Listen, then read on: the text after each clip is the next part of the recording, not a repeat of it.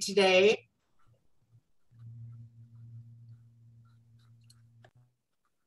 Thank you everyone for being here today. And Naomi, thank you so much for taking time out of your busy schedule to be with us. Um, many of our members are familiar with your writing.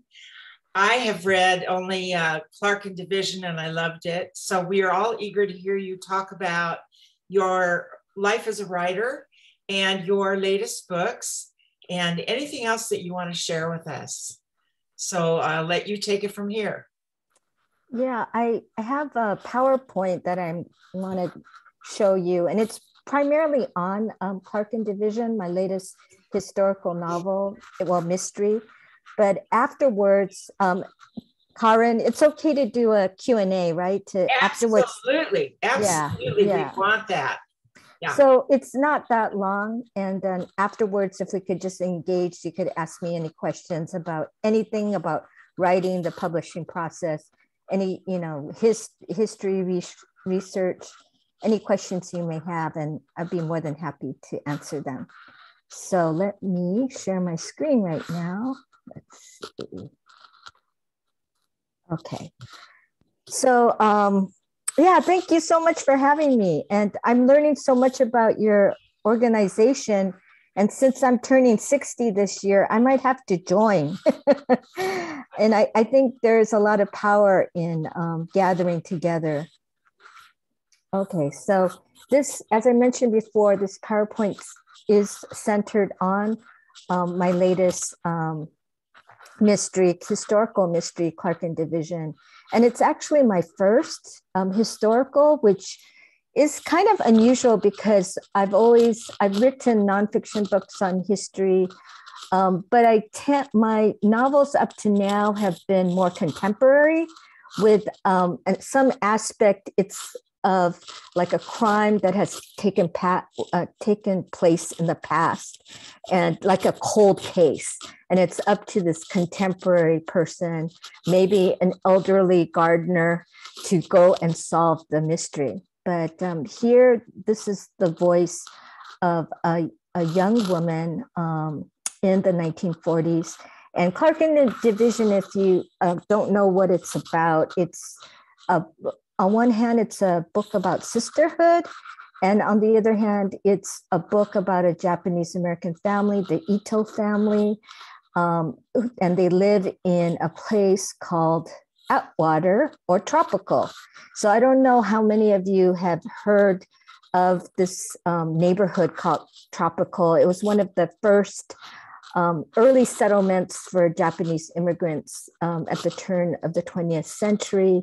There was strawberry farming, and it soon, tropico soon uh, changed, um, and it, it's the name changed, and it's located around um, the intersection of Glendale and Los Angeles. It's near where the Tam O'Shanter is located in Los Feliz. So that's where my family, the Ito family, um, the, the two parents are Issei or Japanese immigrants from the Kagoshima area. They come here to Tropico and they have two daughters, um, Rose and Aki. And my book is told from Aki's point of view, the younger sister, and she's been in the shadow of her older sister, Rose, her whole life.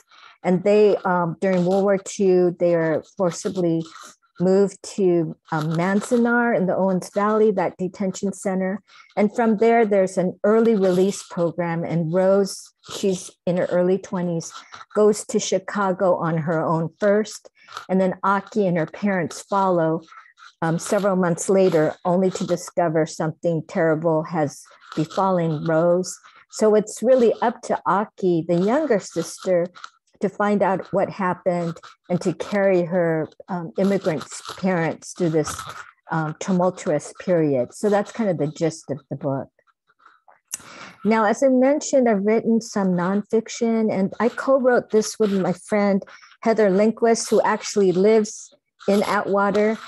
Um, and uh, this uh, was for the Manzanar um, uh, Historic National Historic Site.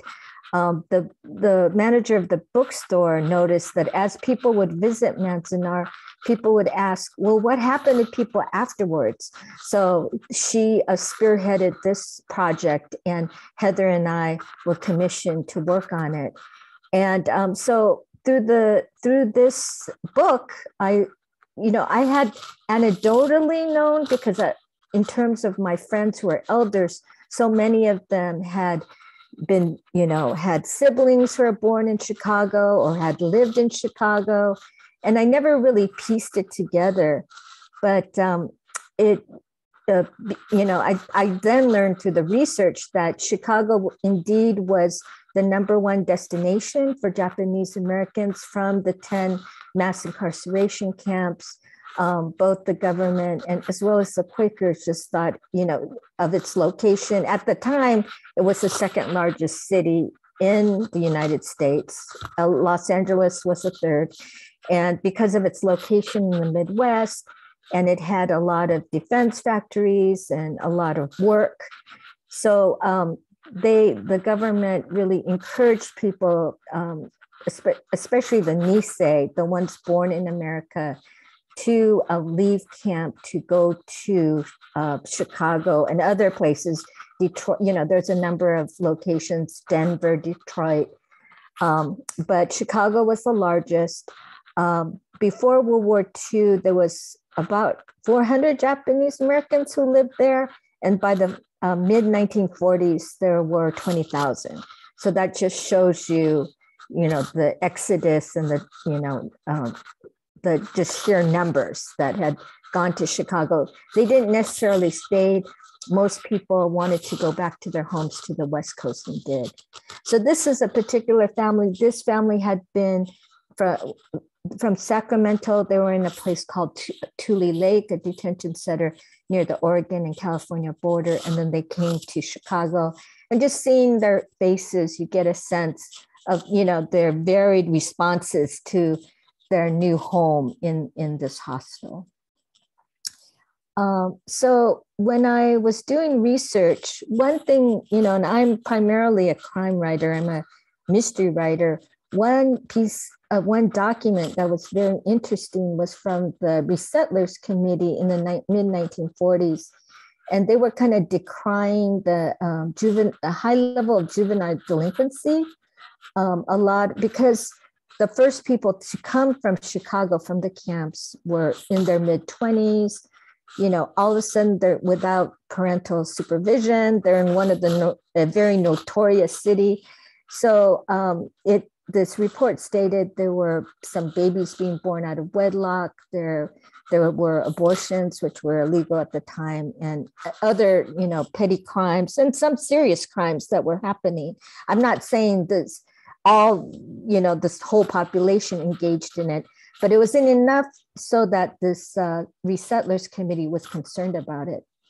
Um, one group of people, um, these young men, um, they're probably from um, East LA or Boyle Heights, and um, they were wearing, they came to Chicago wearing their zoot suits, which was, you know, popular at the time, the baggy clothes and a baggy shirt and the jacket. And um, one professor who was kind of doing research about you know the zoot suiters in chicago couldn't find any photos and it turns out that she was looking in chicago when she should have actually gone to people in la and this is uh, one of my acquaintances janice tanaka and she her um, uncle had her relatives had been zoot suiters and she came up with these great photos that um, helped me develop one of my characters in the book called Hammer.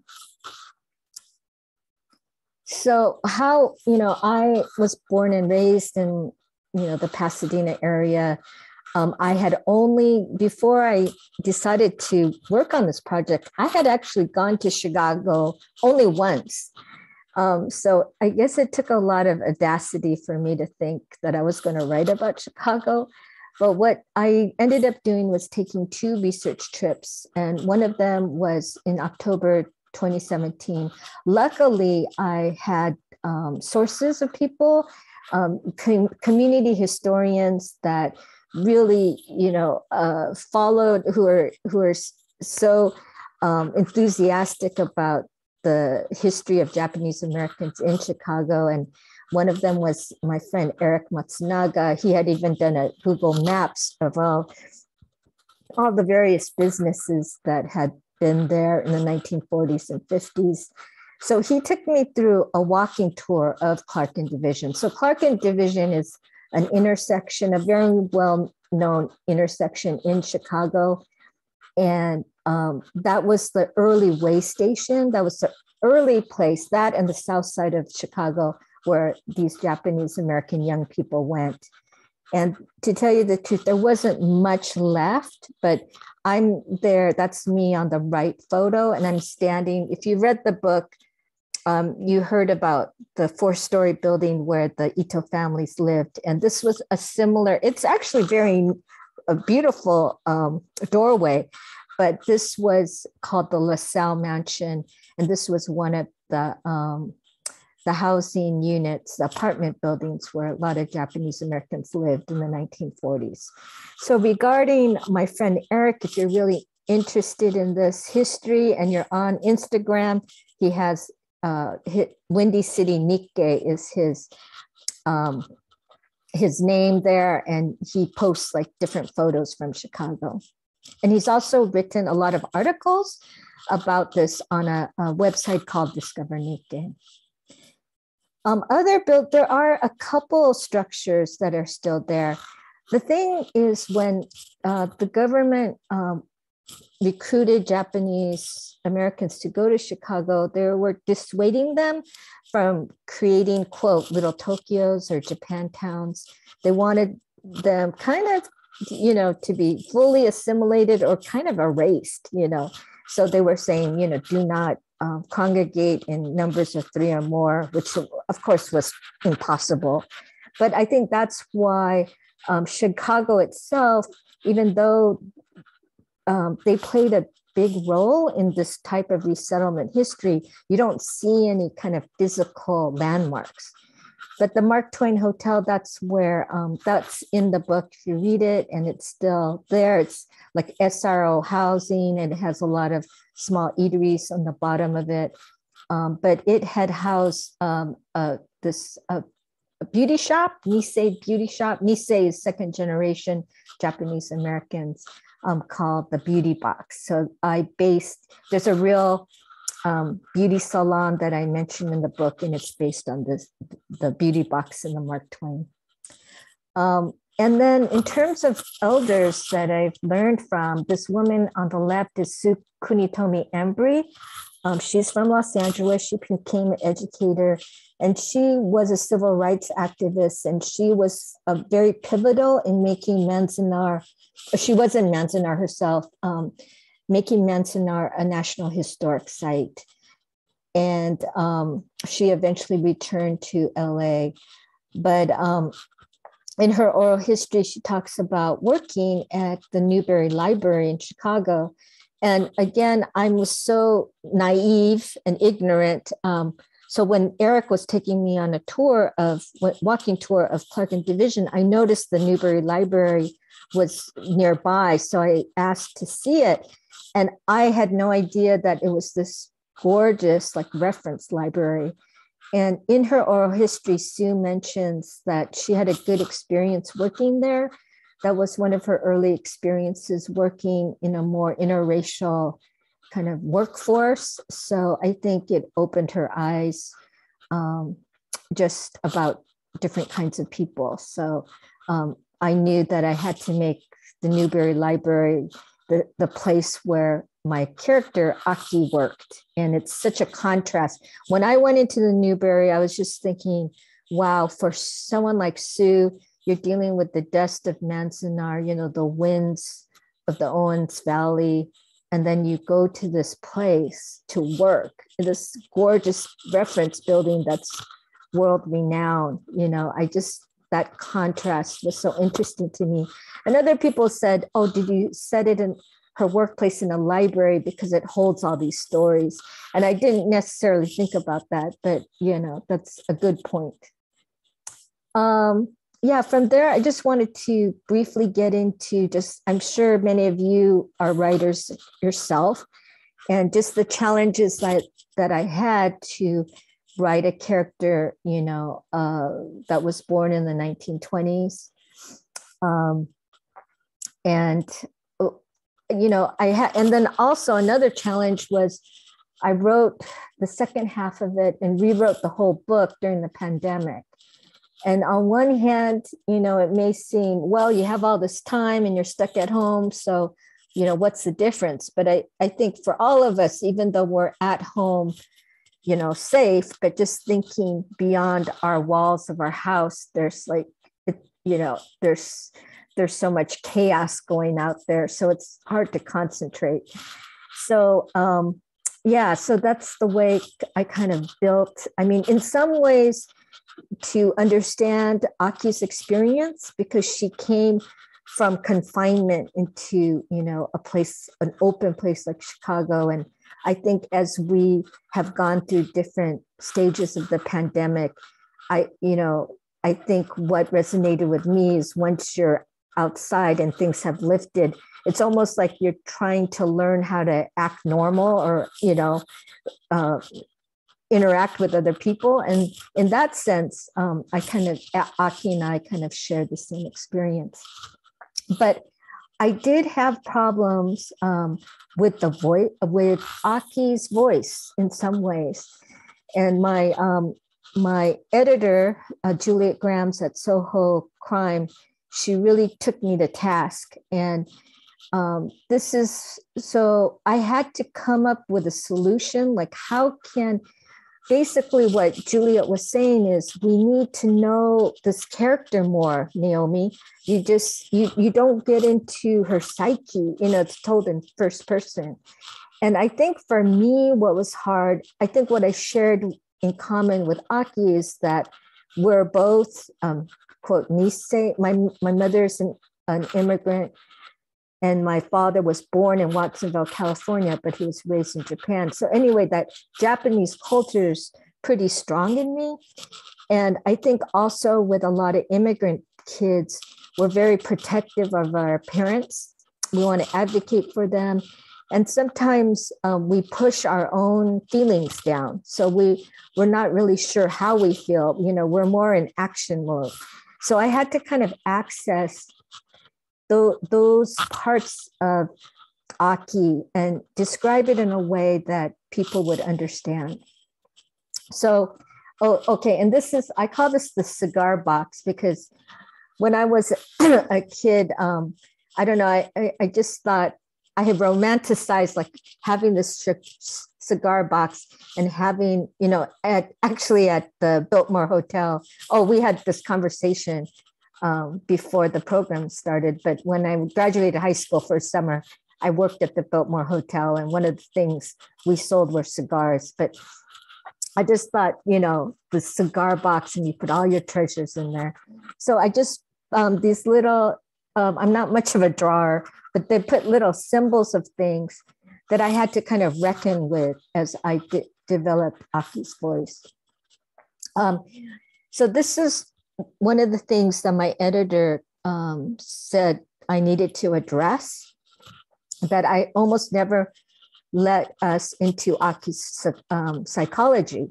So this X represents, you know, I had some emotional and cultural blocks within myself, you know, because I think just um, as a child, like growing up in Altadena and being an immigrant's kid, you just you hear like little digs here and there and you just kind of push it down right? And i had to kind of address that.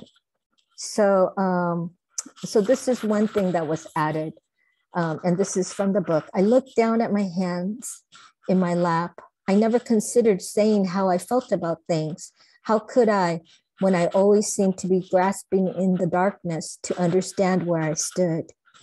So this is trying to you know, get into Aki psychology because I think especially in a society, American society, we're we're so verbal, you know, we're so or- oriented to what people say. But for me, um, in my experience, I'm looking, I'm not only listening to people's words, but I'm looking at their body language. I'm I'm listening to what is not being said, and as a result, kind of interpreting that way. Now, this you can't tell what this is. This is supposed to be an hourglass to represent experiences. And then she says, give us a lot more insight into Aki's thoughts and feelings. So um, again, this is related to what I just said. By this time, we understood how the world worked for us. To articulate the attitudes against us would give them power and credence. We preferred to release the pain silently, let it rise in invisible balloons that we couldn't see, but we could feel, bumping against our foreheads and shoulders, warning us not to stray too far from what was expected. So, um, yeah, the book starts off, um, it, it's not your conventional mystery book because in most mysteries, and most mysteries I've written, we have a dead body right in the beginning. But here it was important to me to develop um, Aki's character, her relationship with her sister. So um, the book actually uh, starts with Aki's birth. So, um, so I think, I, you know, I had to kind of show the uh, the way they were raised, what sort of attitudes that people had about them. Kind of the there's a word called microaggressions, the little kind of digs that people would say to them. Um, one of the things is Aki is um, not able to swim at her this new French um, girls' swimming pool, private swimming pool, because um, the other mothers didn't want their girls to be in the same water as a Japanese girl. So I, I felt I needed to set up those kind of things um, before the outbreak of war to show people that this just didn't happen because of Pearl Harbor, that this was in the works, you know, many decades before that. So after I made my change, I mean, it was hard, you know, so, but it was, it's a happy ending because my editor said it's engrossing, exciting to watch. And these are just like writing tips that I kind of learned was to interview more people. And it, it could I had to interview my friends about being a younger sister because I'm an older sister. I have no sisters, and I have a brother who's eight and a half years younger than me. So, so it's funny, you know, you don't only interview people about historic things, but just their position in life. And I had to mind my vulnerable moments because there were things that um, I could take from my own life that I could incorporate in Aki's refer to other novels, especially the classics. My my editor was going, um, you need to, you know, uh, be look at it like Nick Carraway and Great Gatsby, and you know, in terms of how to narrate this book. And I don't, you know, I talked to my girlfriend who's an expert on Great Gatsby. I don't think it really helped or anything, but it was fun to do that. And just be aware of your emotional and cultural blocks. So um, yeah so what's next? Um, i you know i didn't talk about my Gardner book uh, my Mas Arai books but i've written seven of them. And it's actually a gardener who lives in altadena who solves crimes. And he's also a atomic bomb survivor which uh, mirrors my father's own experience. And um, the last book is hiroshima boy and that was released in japan um, last august and on the right, um, I also do, you know, I talked about contemporary mysteries, and this is one set in Kauai, um, Leilani Santiago, an internal lay, and that's coming up in March. And then, um, oh, and then I'm also working on um, a follow up to Clark and Division. Um, this new book is going to be called Evergreen, and it's going to be set in Los Angeles. And um, Evergreen, um, it's a street, uh, it refers to an actual street in Boyle Heights. So um, Aki will be moved uh, from Chicago, she'll be moving to Boyle Heights in Los Angeles. And this particular photograph really um, moved me. Um, and it was, we found it, we couldn't incorporate it in um, our nonfiction book, but for some reason, this a photo kind of helped set the tone of Clark and Division, even though was, this is in LA. But I thought this photo was so interesting because it's so it's very different than the government photos because everything is so chaotic. The you know there's a bit of a mess, right? There's a pan on the floor, and then there's a newspaper that might that's probably the Rafu Shimpo newspaper, the Japanese American newspaper that I eventually worked for. And just the there's of course no room for these dresses to be, you know, no closet, so they're just hanging on the wall. And I think um, this probably exemplified kind of um, what these um, these families faced when they were after being released from camp. So that this photo was um, very important in that way. So um, anyway, I'll stop sharing and I'll take your questions. I don't know how, Katie, how do you want to handle this part of it? Um, Karen, do you mind if I take it from here? You want to? Okay, you're muted, but what? Um, yeah, yeah. Okay. Take it from here. Uh, thank you so much, Naomi. Wow, it was wonderful. All around applause and thanks for sharing your insights. Um, so we just opened the floor for questions um, and comments, and I hope I hope we can get the conversation rolling. I, I I fortunately just finished the book, and I so enjoyed it. And I have to say, um, I'll, I'll, just start with a question, if you don't mind. Um, you know, I I wondered, you know, was it encouraged for the Japanese Americans to stay in Chicago? Was that the idea of the plan? Were they discouraged from moving back to their hometowns um, in California? Or, um, and then, you know, do you have any idea how many of them stayed and how many said, no, I want to go back home? I think, um, and then we have um, some folks, anyone in the audience actually part of the the Japanese American exodus um, and have experience living in some pl- some other state and then returning back. I mean if you do like you know so yeah. you know wave your hands. Okay. Oh when you know i think you, you all should maybe I, I i can comment on this too but wendy can you say anything about your own experience? And i guess the yaguras if you could if you don't mind, because you actually experienced it.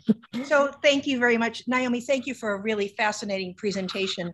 I'm so impressed with how prolific you have been as an author that really impressive so my own family's experience was going from the fresno fairgrounds um, to jerome which was the most distant you know it was in one of two camps in arkansas and so as jerome was the last camp to be built and the first to close.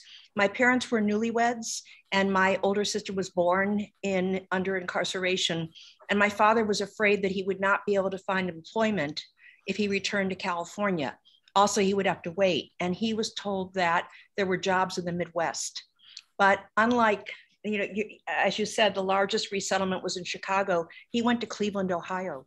Mm. And he remained in cleveland for the remainder of his life he he lived until he was 85 years old and he and my mother made their permanent home, Cleveland, Ohio, and raised the family there where we were the only non-white family in an all-white suburb of Cleveland. And you know, he was active in JACL.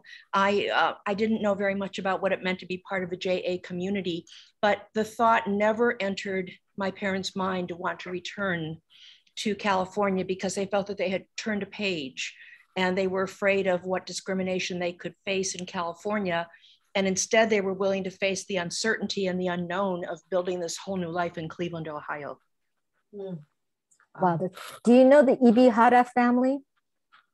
Have you I heard of them? No, I don't. Most people want to know if I knew um, Hank Tanaka. And of course, we knew Hank Tanaka very well in Cleveland, but no, I didn't know the Itahars. We oh, live on the west side of Cleveland. Oh, okay. Um, yep. Ibi, Ibihara. He, Wataru, he works for the Little Tokyo Service Center, but he's yeah, he's his family's from Cleveland. How about the Yaguras? Did you want to add anything or say anything? And you're muted right now. Can you hear me now? Yeah. Okay. So we were in both different camps. I do have to have a question though. Is, is Eric Matsunaga uh, the son of Andy and Joanne Matsunaga in who live in the Ventura area? No, they No. live in they live in Chicago. Chicago. And, and Eric is Hapa. So Oh, his uh his mother is white. Oh, okay. I think Polish. Yeah. Well, uh, our family also went to the Fresno relocation camp from uh, Madera and Sanger, right around Central Cal. And then we were shipped to Poston, Arizona. Uh, our family was split. Half part of our family went to Poston, Arizona. The other half went to Jerome, Arkansas, eventually. And ultimately, we ended up in Jerome. And then we ended, and then towards the end of the war, uh, there weren't enough men to harvest crops. So uh, father was sent to Caldwell, Idaho, near the Minidoka camp, uh, where he harvested potatoes and stuff like that for the uh, war effort. And then we ended up back in uh, the Sanger area after uh, we got out of Idaho. But uh, I had aunts and uncles who all went to uh, Chicago on both sides of the of the family, and ended up living. Some of them stayed in Chicago, and others came back to Sacramento and other places in California or the Southwest. Terry has a different st- story. Yes, um, I was born in Santa Anita. Uh, my parents were newlyweds, and so the family was split. Um, my mother and father were sent. They they married straight out of high school when the war uh, broke out, um, and so they were sent to Heart Mountain, um, Wyoming. Wyoming. And then after when he uh, then volunteered for the army. Um, my mother then was shipped to Manzanar, where the rest of her family, her siblings, and uh, her her parents were, and so we ended up in Manzanar. Um, and from there, you know, I, I have no recollection actually of any of the camp experience. But her family was it lived near USC before they were sent to Santa Anita Racetrack where she was born. Right. And, and then they ended up back there, uh, just about two miles away from USC. Yes. I I started in the Fresno area, ended up in the Fresno area after Idaho, but then we moved to near South Central Los Angeles, near downtown LA, in a primarily African American neighborhood. Because in those days, you could really only live in an African American neighborhood, uh, in a Mexican American neighborhood, or out in Gardena Torrance, which is way out in the boonies uh, when we got out of camp. But I ended up growing up in Boyle Heights in East LA, so I'm very familiar with Evergreen and in that area. And whereas um, our family, my uh, grandfather was able to buy a house uh, through, I guess it was my uncle because he was American citizen. So he he bought the house um, a couple miles away from USC. Um, and while we were in camp, apparently uh, an African American family uh, lived in our house and they lived there the whole time. And so the house was saved in a sense. Um, and when we got out of camp, I this I do remember is that we lived with them. Uh, I think it was a very small house uh, for two families, uh, maybe two, I think maybe even just two bedrooms at the time. And so we lived with them until they were able to find another place to live. Mm. And um, then um, they left me with their cat. So that I was so happy with. That's a great, that's a great, what was the cat's name? Do you remember?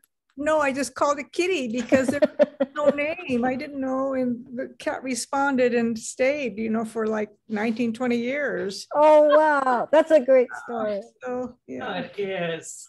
Um, yeah, Katie, too. I mean, I, I'm try- I, it, it just said that most people did return to the West Coast. I imagine that some of it might be just the weather. Like, you know, people were not, you know, really prepared for all that, you know, the winter time.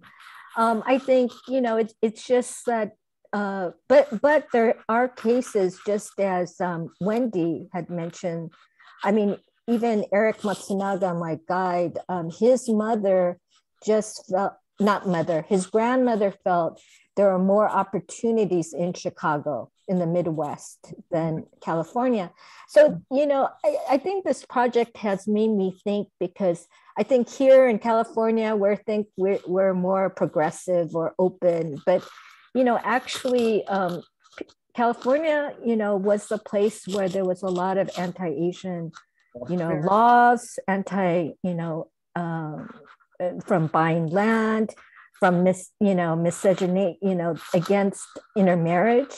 Um, mm-hmm. Whereas in Chicago, a place like Illinois, you know, they were much more open, and there are much more cases of uh, of like Japanese people uh, being married to like whites, you know, and you you that was a no no here in California. So um, I think what I tried attempted to do in Clark and Division is show there's a number of different characters and everyone has a different take about it. Um, you know, one character just thinks Chicago's the best. There's, you know, and and um, Aki's uh, love interest, um, um, Art Nakasone, is actually from Chicago, and so he he himself, his family, they don't, they didn't have to be removed, you know. So life continued as usual. So that was another contrast um, from Aki's point of view, just to think of everything that her own family had gone through. Yet with art, you know, they have all their pets and their nice dishes and the great food, and like nothing had, you know, really changed for them. I don't want to to dominate these question the question and answer period. Yeah. I, I do have a comment, uh, which is uh, you mentioned the difficulty of getting over the emotional and cultural blocks. Uh, to writing it. And I understand that. I really congratulate you for getting beyond that. Um, one of Terry's distant cousins uh, came from Kyoto and interviewed us for the Kyoto Shimbun newspaper, one of the big newspapers there, about uh, her family's um, history because he's part of that family, a distant relative of her mother's side. And um, what um, uh, I discovered is he asked two questions that really opened my eyes. He said uh, something to the effect, he asked something to the effect of, how do you, how did you feel when you were young about what happened to your family? And then how do you feel now about what happened to your family? And what I realized is that something that's been bothering me all year with all the anti-Asian rhetoric and violent crimes that have been committed is that you can't compartmentalize what happened to you when you were younger.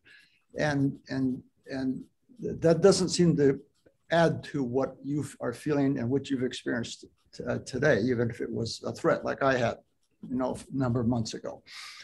And um, I, I, think it's hard to get beyond the plus, as you say, how you were raised by your Nisei parents versus, you know, the, the, the, the generation that we grew up in, the Sanseis, where we were pretty free and able to do anything we wanted to do because we, we didn't have to behave properly uh, in a camp because we were safe there and our, our parents and grandparents really couldn't do too much to us. So. Yeah, um, I think that's why too, in terms of um, because some people ask, well, why why mystery? You know, why a crime? Um, and I think that it raises the stakes for the Ito family I think without this big loss and um, Aki, you know, determined to find out what happened to her sister, um, she would probably compartmentalize her own experience because there's so much pressure. Like, look forward, be optimistic, you know, which are good things. That's how you survive.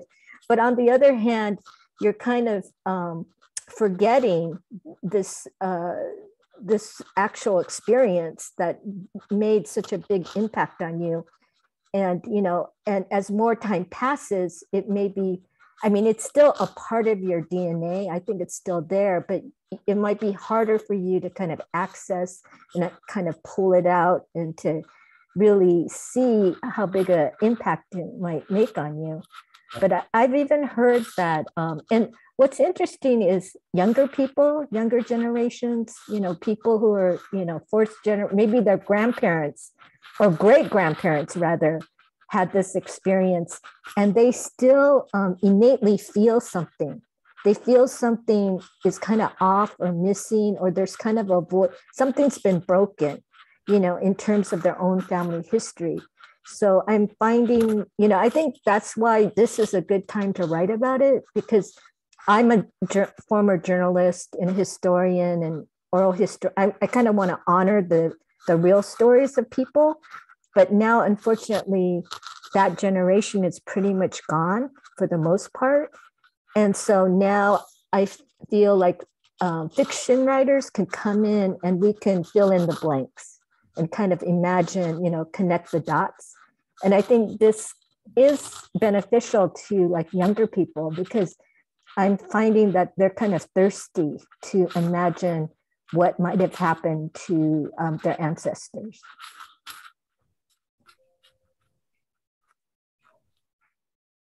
Do we have any questions? You're welcome to raise your uh, hand. Yeah, Barbara.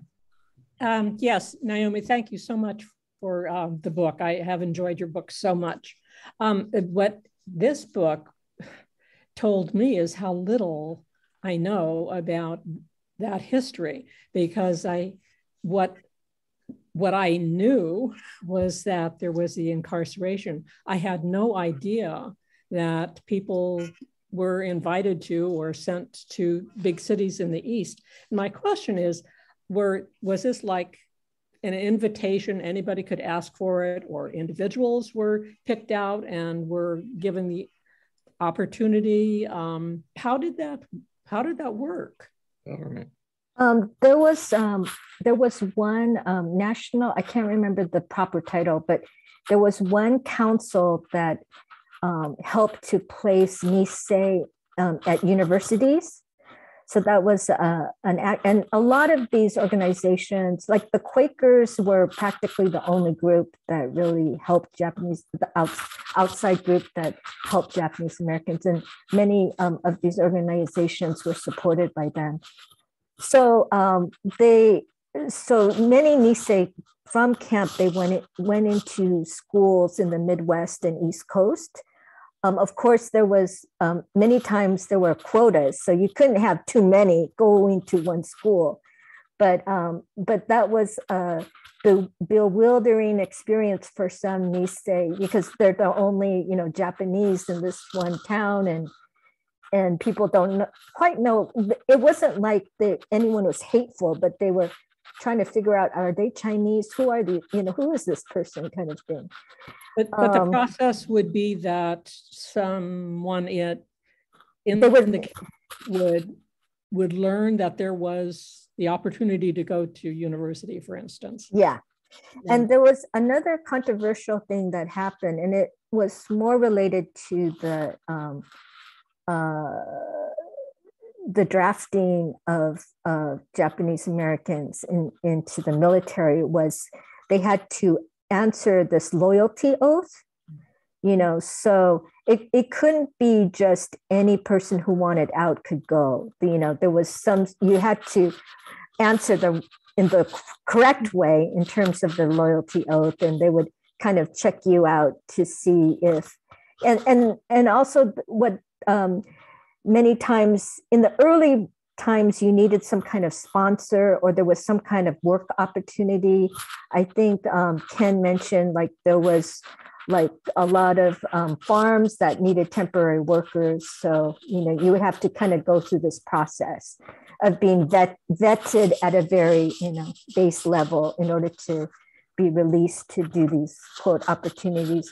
You would have to carry around um, some kind of special ID you know, after you were released. And it really depended on um, the city or community, you know, how, you know, you were supposed to like a report. There were these war relocation authority offices, and you had to kind of report to them and say you're here in the town. And they were, you know, supposedly supposed to keep tabs on you while you were in that particular city. But it, it really depended. It, you know, I think in terms of the enforcement of that um, was not uniform.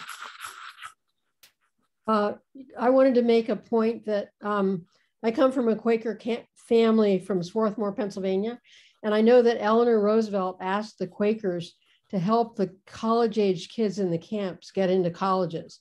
And several thousand got into colleges. A lot of them were Quaker colleges, but other colleges also. But for some reason, I don't know exactly why, and my parents aren't around to ask. A, a Japanese American family named the Izumis lived in our house with us for my brother and sister and I can't remember a few months or a year or two.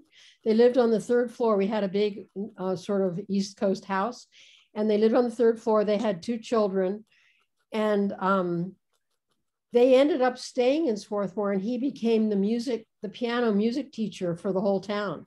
Hmm. And his wife started a small business where she made dresses, and I know they stayed there. But I and I don't know why they lived with us. I think a family had to sponsor certain people to get them out of the camp or something like that. Yeah, that is true. And it's kind of similar to like refugees, right, who come to this country yeah. and many times like church communities will agree to sponsor, you know, a family. So that was at work as well. Um, that kind of um, sponsorship in someone's home. Well, we thought it was fantastic. It was such a neat family, and the kids were a little older than us, and they could babysit for us, and we just had a wonderful time with them. Maybe that was the reason. Your parents. that could have been the understanding. I see Esther's hand and then Dick. Esther? Oh, you're muted. Oh, Still me. Okay. Naomi, thank you. This was mm. remarkable, just so wonderful. It's for me personally filled in some blanks in my own history. The Uehara family was released from a camp, I believe, in the Dakotas or Idaho. Uh, and they came to Toledo, Ohio, because Mercy Hospital sponsored Mr. Uehara, who had learned to cook while he was in camp. And he became the chief chef, in Mercy Hospital. And um, I met his daughter, Rose, in high school. We were friends then, we were friends in college. We are friends to this day. But one of the greatest influences in my life was Rose Uehara. When we were in college, she said, Let's take a trip. Let's go to Chicago. Chicago was our destination so many times when, when we took a break from college. It was a wonderful city, but it was wonderful people. I had no idea about why they were in Chicago, but she had family in Chicago. In about 1960, her family that was still in Toledo decided they were going home and they moved back to California. And Rose stayed in Toledo to finish her college years. And when she went back home, I went to visit. I ended up in Boyle Heights. Mm-hmm. That's where the family lived. They were running a grocery store in that community. Mm-hmm. And the, the thing that has always disturbed me is that I was 28 years old before I ever heard about the detention of the Japanese in this country. And yet I was with that family all of those years. Um, it was just a remarkable thing that I didn't hear any talk about it until at least the 1970s when the younger Ueharas began talking about it. Just amazing. But but I didn't know why I went to these places. Chicago, right. Boyle Heights. It, it, fills in some blanks. Yeah, now it's true. yeah, and a, a lot of these things were not spoken of until like the 1980s during the redress and reparations movement, and that bill was eventually signed by President Reagan.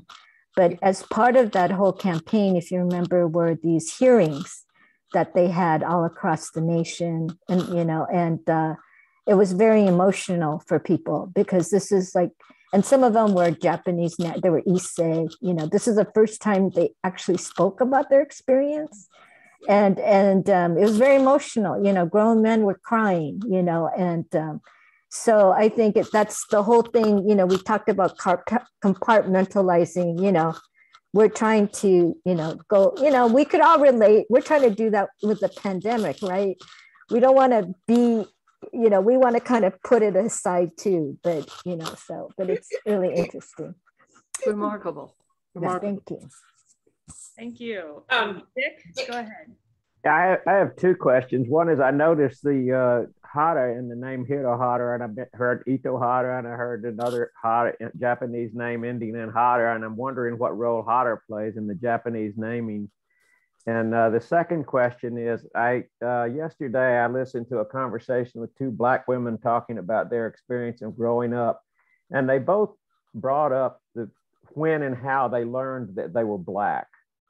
And I'm wondering if there's any resonance in that with the Japanese experience in, in coming out of the incarceration. And is, is there any kind of resonance of discovering that you're Black or in, and I'm sure you always knew you were Japanese, but that's not necessarily that you're different.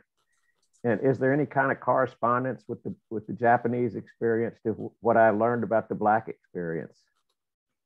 Well, I'm going to answer your first question, and I would like um, the other Japanese Americans on this Zoom to respond to your second one. Um, but um, yeah, so it, it's kind of interesting with surnames and the uh, and Jap- Japanese history because I think for a long time the Japanese I don't know how this works, but they didn't have surnames. They didn't have I don't know how you could not have a surname, but then there there came in a certain time in Japanese history where people could have surnames. So they just pick things. Most of them are related to nature. You know, most Japanese surnames are, you know, uh, refers to some kind of agricultural thing. So Hara means valley. Hara is valley. So, and then Hira, my name, um, it, it means flat. So flat valley that's basically but if you you know meet anybody you know any of these haras it's valley that's what it's from. And then i, I want to pose this question to the other japanese americans. I mean let, let's start with wendy since you lived in a predominantly well maybe you knew immediately that you're different but when did it it occur to you that you were quite well, different. I think Dick's question was very interesting because in my own experience, it had a dual nature. So during my entire childhood, I knew that I was different just from looking in the mirror. And I also experienced um, some painful discriminatory conduct when I was a child. Everything from being called, you know, names on the playground to as I got to my more social years, I had friends who were permitted to be my friend, but not permitted to date me, for example and that was confusing and it was hurtful. So I knew that I was different, but I didn't really understand what it meant to be Asian and especially Japanese American until I moved to San Francisco. Um, when I finished, I went to law school in Philadelphia. So again, a very East Coast experience. And I know Swarthmore, um, Betty Ann very well. I moved to San Francisco in 1979.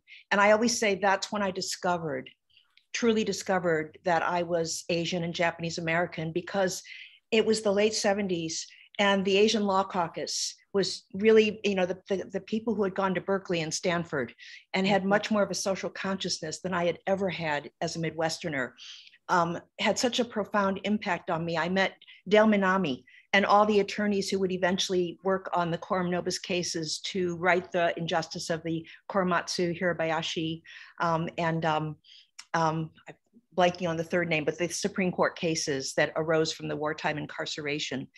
And I was just so impressed and emotionally sort of overwhelmed by what my peers as Sansei young attorneys were doing, um, things that had never even entered my consciousness as a Midwesterner.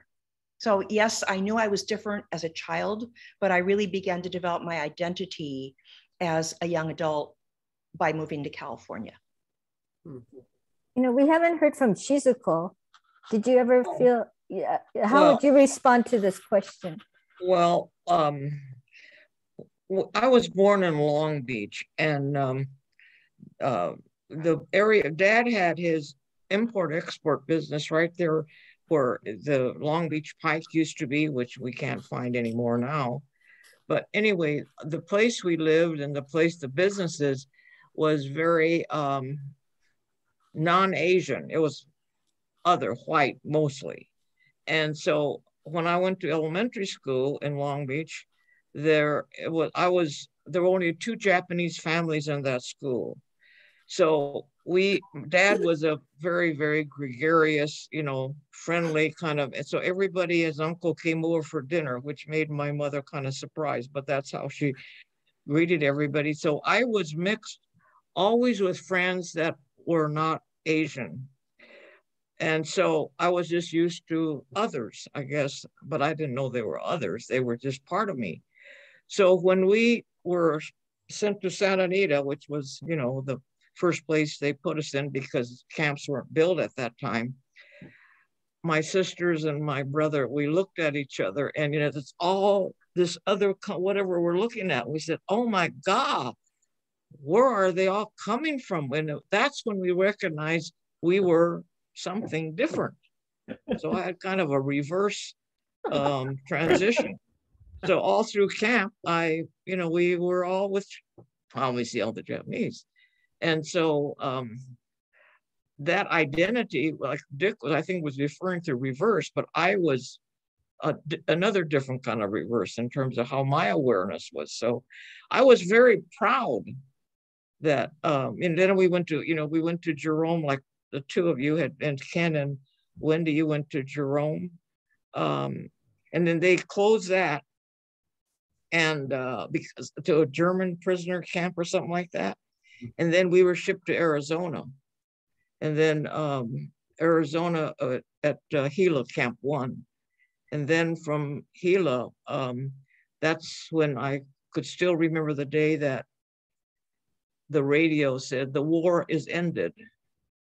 And I ran out outside the bungalow and I said, the radio just said the war is ended. What does that mean?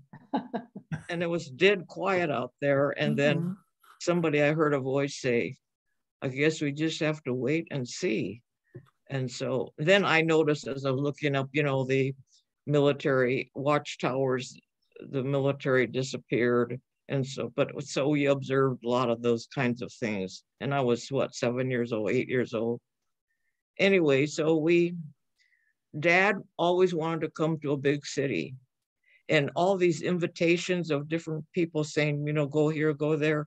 Dad never took those, and he wanted to come back to California. So he got a bus and he loaded as many families that he could on this bus. And he said, I'm going to California. So as many as we could fit, we're going to trek back to California. So dad was a mover and he got the people back to California. Then we found a gymnasium behind a church right outside of Sacramento called Florin, the city. And dad asked the minister if we could borrow the gymnasium. So dad separated the gymnasium with blankets, and the families lived within the partitions of blankets. And the men built a Japanese bathtub outside. So we all took baths outside. And there was a small kitchen in the gym. So, but gradually, all the families went back to wherever they wanted to go in California. And dad came to uh, Los Angeles, a big city. He didn't want to go back to Long Beach. He came to LA and um, found our apartment in good old Boyle Heights, the best place you could have been born and raised because it was such a mix of everybody. So uh, my identity as a as an Asian or Japanese American was evident uh, after I got into Santa Anita. So I knew who I was. I knew who my, I wasn't, you know, an Anglo, I was a Asian. So that's a, a, a reverse kind of a thing. Look, Mia, and then I'm going to ask Harry and Jane afterwards. you're, yeah. So. Oh, you're muted, Mia. Oh, Linda, I'll get to you in a sec. You got to unmute here. You, Mia, you got to unmute. Okay. So Shiz, uh, Shizzy? Uh-huh. We were, were those people who returned to California, do you know uh-huh. how, how, do you know how many of them were able to reclaim their original properties that were taken from them? You know, I don't think dad kept in touch with them because, you know, um, but I know my dad couldn't, you know, and he didn't want to go back to his own business because he had three children and it was such a gamble because of well, the discrimination that kept, you know, going at that time. So he did all the a college grad from Japan and America. I mean, he did the typical, you know, gardening and all that, which is not his speed. Um, and I'm sure way he died young, and I am sure because you've heard the they never talked about the war, never, never, never talked about that with us. And I'm sure he kept it all in. And that's what I'm sure took his life. So um, oh, yeah, no Dad never never got his property back. Yeah. I often wondered in our history classes, uh, we were taught all about the internment camps, and um, most of our teachers. Uh, I grew up in the San Francisco Bay Area, and most of our teach well, all of our teachers, uh, our male teachers, had been in the war, and so they, a lot of them talk very openly about it. But I always wondered when the Japanese who were allowed to move from the, their internment camps and join the US military, and then they went to Europe. And at the point of the liberation of the Jews from their concentration camps, I often wondered what was what had to be going on in the minds of our Japanese soldiers, our Japanese American soldiers, who were liberating people, you know, because of because of the Holocaust. And I was just wondering if, if there has been any writings about about that. I know the, the, the Jews, of course, were, were dumbfounded. They were so confused because they had no ideas that Japanese Americans were fighting on the side of the Americans. I mean, they, they, they didn't know all the, the history and the internment camps that we had here. Uh, and so they were petrified when they saw so, some of these people coming in, or not petrified, I guess they were, uh, we saw films of this. They spared us nothing in our history classes. We saw a lot, probably more than we should have been shown at, at uh, that young age, but uh, we, saw that, we saw a lot of the deaths, that the, in term, the uh, incinerators, the whole business.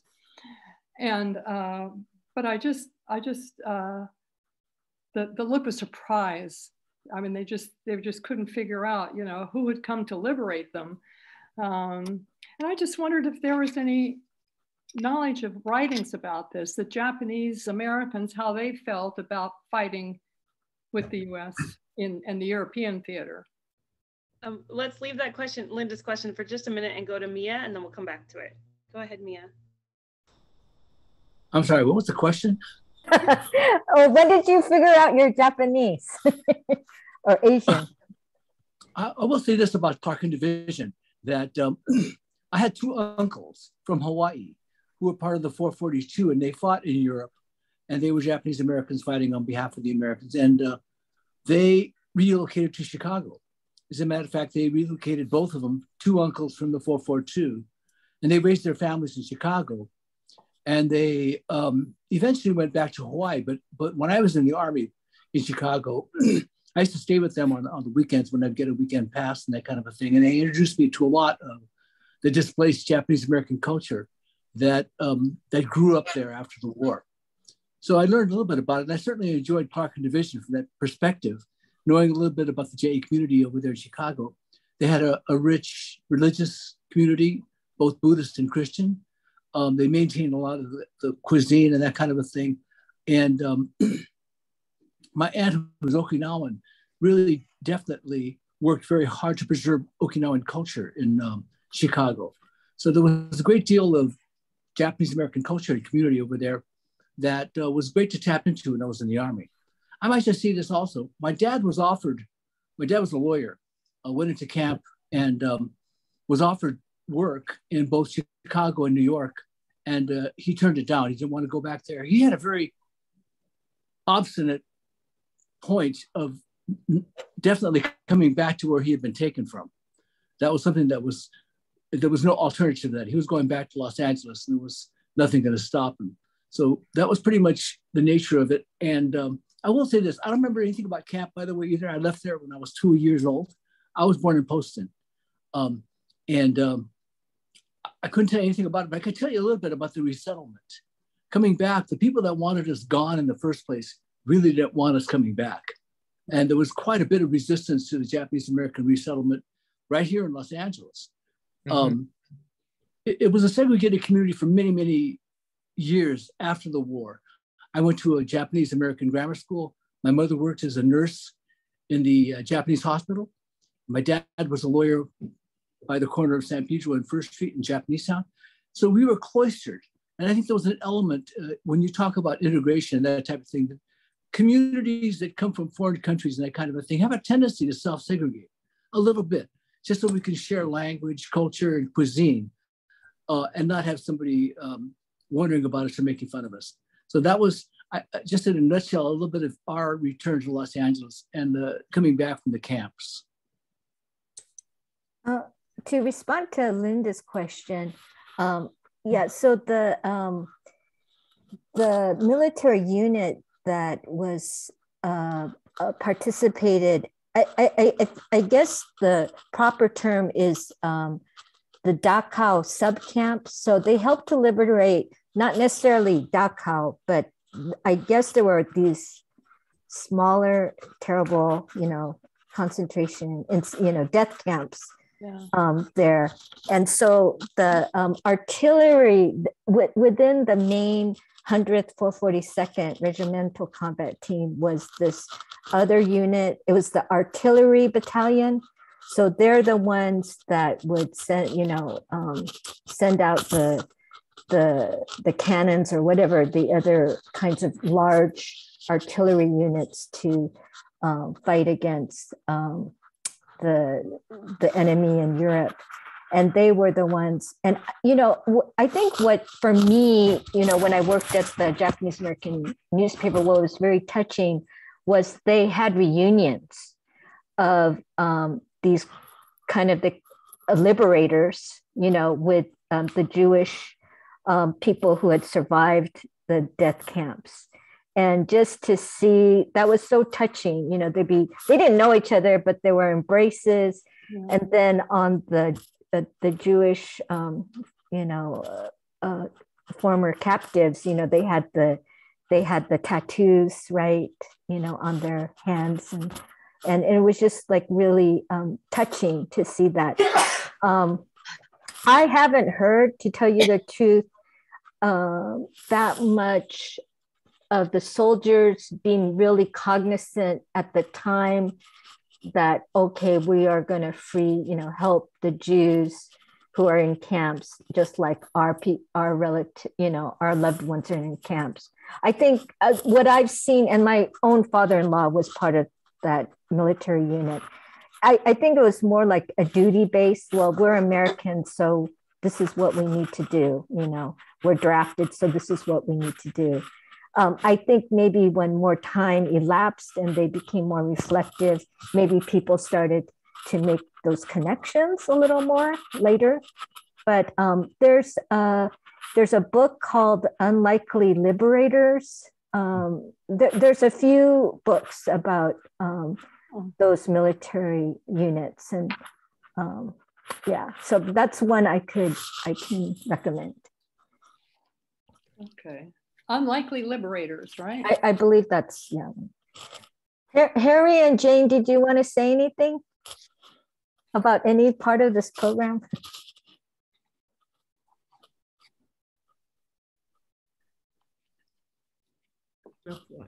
Thank you, Naomi. It was great. We enjoyed your book very much. Um, interestingly, I was born in Watsonville, where you have family roots as well. And um, uh, my family uh, went to, I'm sorry, I was away for a few minutes, so I'm not sure where we are in the thread. we're kind of, I think we're kind of wrapping it up, but I just wanted to give okay. you an opportunity to say something. Yeah. Okay. Um, I was two and a half when our family was ordered to go to um, a concentration camp. And we first went to the Salinas Fairgrounds uh, which was euphemistically called an assembly center while the camps were being built. And then my family went to Poston, Arizona. Um, my father, who was a farmer, did not go back. We did not go back to Watsonville. Uh, we learned that we could leave early from Poston if we had a place to go. Uh, we had a friend who owned a ranch in Eastern Oregon on the Snake River and that was outside the military zone. And so we, my father accepted an invitation to farm with his friend in, um, in a place called Ontario, Oregon, uh, right on the border between Idaho and Oregon. And it wasn't until the mid 50s that we returned to Watsonville. And Naomi, one of my best friends in high school, was Mieko Hirahara, yeah. who is your father's cousin, I believe. Um, but anyway, that's that was our history in terms of camp. And Harry's family went from the Bay Area to Topaz in Utah uh, before returning to to the Bay Area again. And speaking of Chicago and cities in the Midwest, I have one cousin who was born in Chicago because his parents went from Poston to Chicago, and another cousin who went who was born in Cleveland, Ohio, because her parents went from Poston to Cleveland. So our family history mirrors some of the things that we've been talking about today. You want to add anything to that? Oh. Chicago played a part in my, my family as well uh, we were in Topaz, central Utah internment camp. And with, I had three sisters who went to Chicago and they were there, they worked and went to school. So Chicago played a real part uh, in the development of the uh, Kawahara family. So I'm uh, remembering some of those stories that I heard from my sisters about their experiences in what was what was then called a windy city. So it was that they were very uh, so pleasantly welcoming to some of the Japanese Americans who who were uh, liberated there in uh, in Chicago. So it was a real part of the Japanese American history during World War II.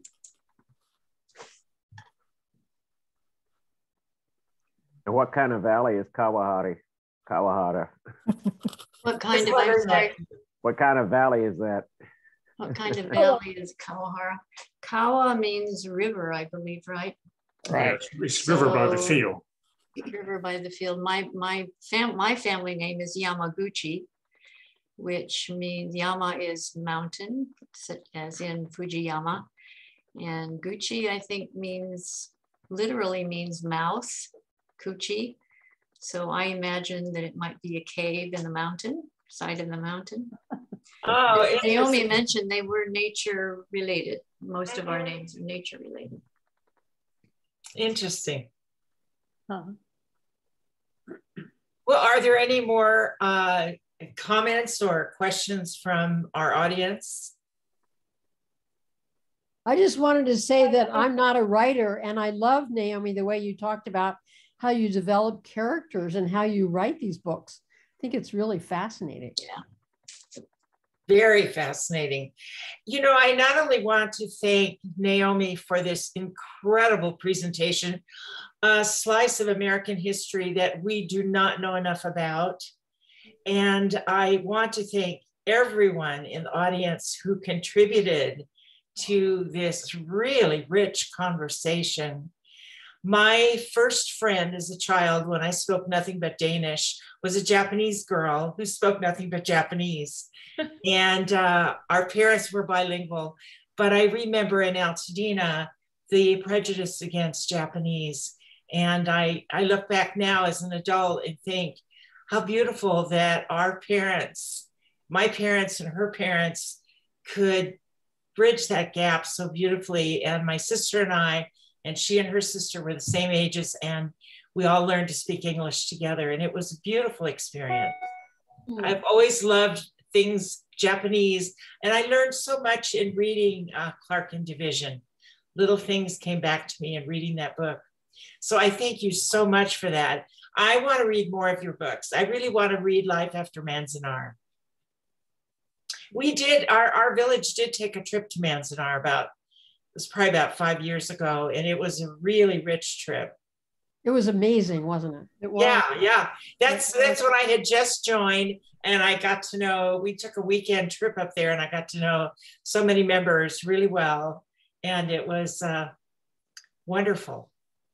Thank you so much, Naomi. And Naomi, Naomi, let me be the first to welcome you to the village in anticipation of the day you decide to join. I, I think I need to join. I've, I've been very aware that cognitively I need to keep my mind you know, I Sharp. I wasn't old enough to join the village, and then I I finally did, and I realized oh, this is wonderful. So uh, the village is made up of people who are very busy, just like you. So this is don't worry about being busy. You you have to be sixty. Is sixty the minimal? Yeah. Fifty-five. Oh, is it sixty? Okay. Fifty-five. Okay. Oh, it's fifty-five. Oh, just like ARP. Okay. Yeah, yeah. That's right. yeah. You're very eligible, Naomi. Eligible in many, many, many, many ways. So just be Yeah. part of the family. Naomi, I want to thank you very much for your presentation. It was wonderful. Oh, thank you. Thank you for having me. And, I, and thanks to all who shared from their own lives because I think it makes the conversation so much richer. So I It- it thank was you for that. Yeah. Naomi, can I just ask, um, when is your next book, Evergreen, coming out? It's due in, um, March, you said. well, actually April. April? Yeah, my, my uh, Hawaii book's coming out in March, but I have to turn, I'm writing it right now. And Oh. then um, it probably won't come out until next year. Evergreen? Oh. Yeah, Evergreen won't come out until next year. And that follows um, the characters from Clark and Division. Exactly. I So- really want to read Awesome. that, and maybe in our next presentation with you, you'll you'll be a member. Yeah, yeah, true, true. And and this this actually, I want everyone to know this was a joint presentation of the inclusivity committee and the cultural committee. And uh, thank you so much again, Naomi.